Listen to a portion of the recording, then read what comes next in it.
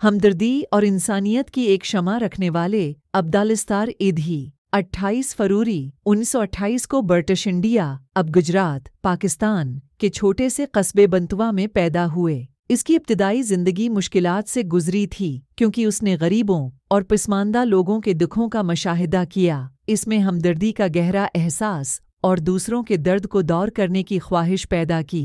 ईधी की ज़िंदगी के अवाइल में सानहा उस वक्त पेश आया जब उनकी वालदा बीमार हुईं और उनका इंतकाल इस वक्त हुआ, जब वो सिर्फ़ 19 साल के थे। ईधी उन्नीस में हिंदुस्तान और पाकिस्तान की तकसीम के दौरान कराची चले गए। एक वसिया इफरात फ्री और तशद का वक्त था, जहाँ उन्होंने बेसहारा और जख्मियों के संगीन हालात का मुशाहिदा किया। अपनी हमदर्दी से मुतासर होकर ईधी ने एक छोटी डिस्पेंसरी कायम करके अपने मिशन का आगाज़ किया जो गरीबों को बुनियादी, तभी अमदाद फराहम करती थी।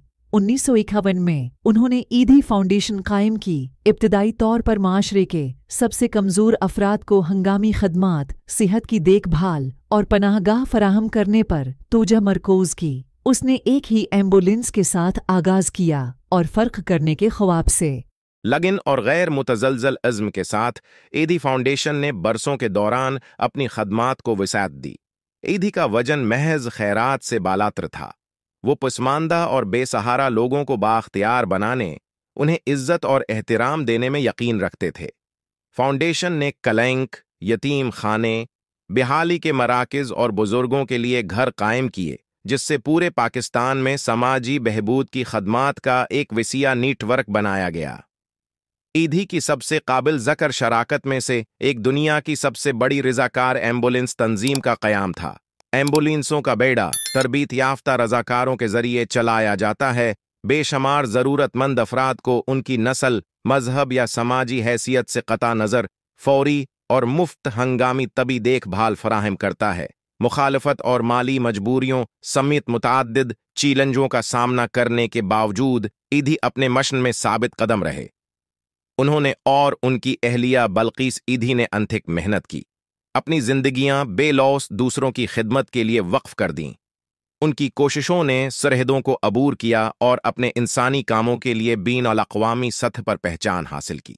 ईदी की सादगी, आजिजी और लगन ने इन्हें बड़े पैमाने पर तारीफ़ और एहतराम हासिल किया। वो एक मामूली ज़िंदगी गुजारते थे, सादा लबास पहनते थे और ईदी फाउंडेशन के हेडक्वार्टर से मुत्तसिल एक छोटे से अपार्टमेंट में रहते थे।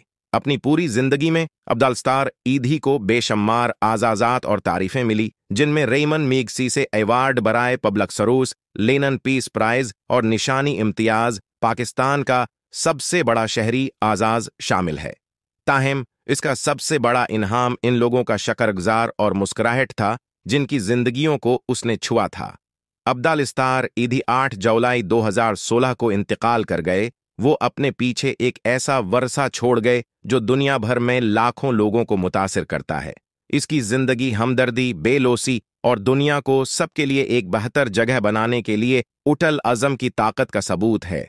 ईदी फाउंडेशन, उनकी अहलिया बल्कीस ईदी और उनके बच्चों की क्यादत में उनके मिशन को आगे बढ़ाती है, इस बात को यकीनी बनाती है कि उनकी हमदर्दी और खदमत की मीरास बरकरार रहे, जो कम नसीबों के लिए उम्मीद की करण फ्राहिम करे। अब्दुलस्तार ईदी की ज़िंदगी लामहदूद, मोहब्बत और इंसान दोस्ती की एक रोशन मिसाल बनी हुई है, जो नस्लों को हमदर्दी और हमदर्दी के साथ इंसानियत की खदमत में उनके नक्श कदम पर चलने की तरगीब देती है।